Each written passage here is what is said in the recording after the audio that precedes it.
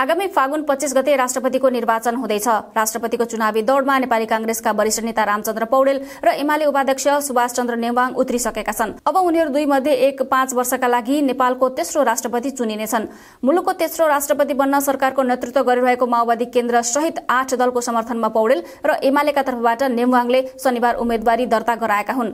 एमाले नेपाली कांग्रेस बाहेक संसदमा प्रतिनिधित्व गर्ने सबै दल र स्वतन्त्र सांसदलाई पत्र लेखेर सुभाष चन्द्र नेवाङका लागि मत मागेको छ। यता रामचन्द्र पौडेलले भने एमाले अध्यक्ष केपी ओलीलाई आफू जेल बस्दादेखिकै साथी भन्दै भोट अपिल गरेका छन्। उनले व्यक्तिगत रूपमा राष्ट्रपाका सभापति रवि लामिछानेलाई समेत भेटेर भोट मागेका छन्। कांग्रेसका नेताहरूले रामचन्द्र पौडेलको जित सुनिश्चित रहेको बताइरहेका छन्। माओवादी अध्यक्ष तथा प्रधानमन्त्री प्रचण्डले पनि एमालेलाई समेत पौडेलका नाममा समर्थन जनाएर राष्ट्रिय सहमतिको राष्ट्रपति बनाउन आफूले आग्रह गरेको बताएका छन्।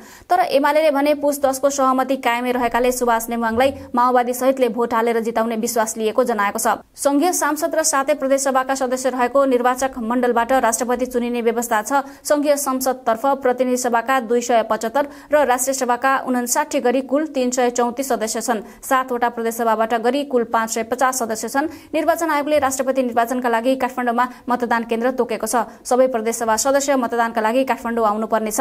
चौध गते उम्मेद्वारको सरकारको विरुद्धमा उजुरी लिने चौध र पन्ध्र गते मनोनयन पत्र र उजुरी उप जाँचबुझ गरी निर्णय गर्ने कार्यक्रम छ। पन्ध्र गते उम्मेद्वारको नामावली प्रकाशन गर्ने तालिका छ। सोह्र गते नाम फिर्ता लिने र त्यही दिन अन्तिम नामावली प्रकाशन गरिनेछ।